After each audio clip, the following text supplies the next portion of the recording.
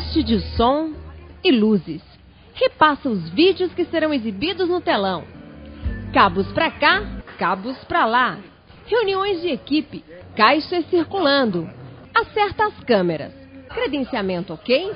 É a construção de um grande evento, não apenas um show. Mas para tudo dar certo é necessário um arsenal de equipamentos e muita gente. Assim foi a produção do Domingo da Família, que o SBT realizou na Beira-Mar Continental, em Florianópolis, no último final de semana. E se no palco preparado para o evento muitos ajustes estavam sendo feitos, o elenco da novela Carrossel estava também cuidando dos últimos detalhes para arrasar no canto e na dança, em um ensaio bem animado. As crianças ela tem um ritmo de gravação muito forte no SBT, né? É, então a gente fica um tempo sem fazer é, as apresentações. Então momentos antes eles precisam lembrar da coreografia, lembrar da letra, se familiarizar com o espaço, não entrar assim, ah entra aí e faz qualquer coisa, não, né? Tem que ter cuidado com as crianças. Tudo pronto, ensaios terminados, equipe técnica a posto.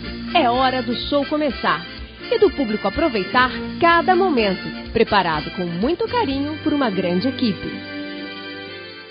E nos bastidores, a Bolota e sua turma estavam no aquecimento. Era a primeira atração da tarde a pisar no palco na tarde de domingo. Nossa, a expectativa deles é imensa, né? E a Bolota também aqui está, está com o coração a mil, aguardando essa entrada espetacular que vai ser esse show, né? Enquanto a bolota colocava todo mundo para dançar, quem se concentrava para uma participação especial eram os personagens do musical O Sonho do Cowboy, do Parque Beto Carreiro World. É sempre uma emoção entrar em cena como o Beto, né, que é um grande cara. Mas a gente está muito feliz de estar aqui com vocês hoje, comemorando essa, essa grande conquista de vocês, que é vice-campeã aqui no estado e mais o canal HD. Então, assim, para a gente é muito importante estar aqui presente com vocês. Enquanto o show rola no palco, nos bastidores as crianças batem fotos com seus ídolos, vêm de pertinho aqueles artistas que eles assistem pela televisão todos os dias. E os pais têm que acompanhar. Satisfação também de uma das atrações mais aguardadas do evento, a famosa e mais amada dupla de palhaços do Brasil, Patati e Patatá, que também estavam na primeira edição do Domingo da Família e eram só alegria antes de subir ao palco, batendo muitas fotos com a criançada quatro minutos para começar o show do Patati do Patatá e eles estão aqui se concentrando. Quanto tempo vocês levaram para produção?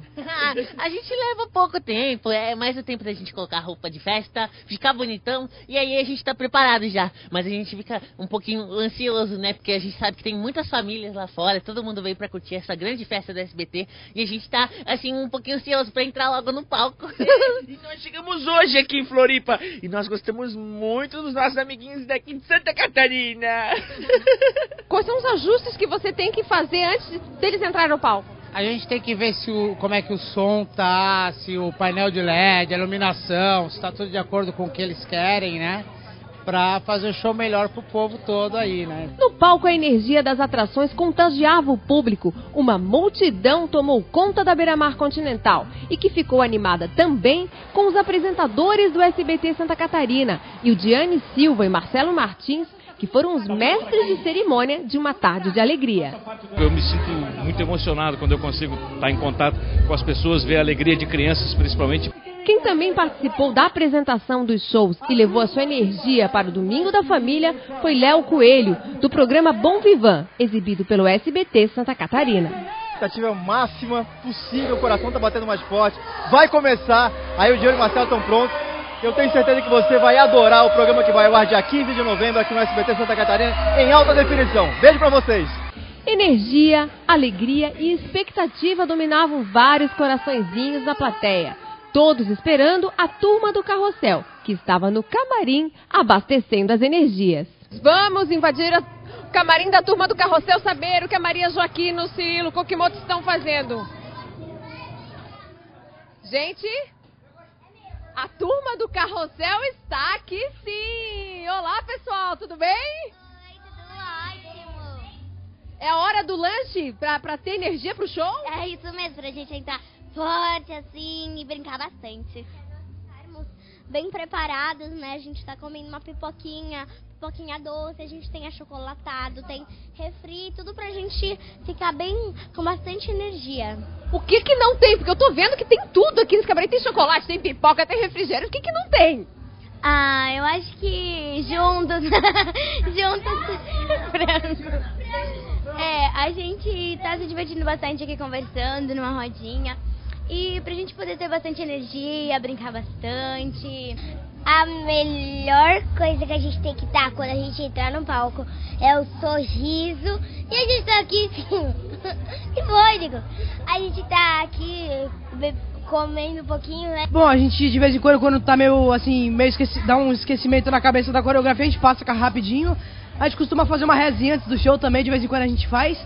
Mas assim, eu acredito que a gente tem que entrar relaxado, assim, a gente tem que conversar, brincar antes do show pra entrar assim naquela expectativa, né? Naquela brincadeira.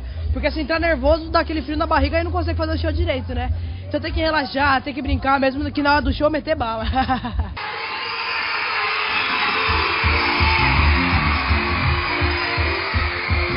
Missão cumprida. A criançada cantou, dançou, vibrou no Domingo da Família, que reuniu pais e filhos na gravação do feriadão do SBT, que será exibida na manhã do dia 15 de novembro. E aí é só conferir o resultado final de todo um trabalho feito com muita dedicação pela equipe do SBT Santa Catarina.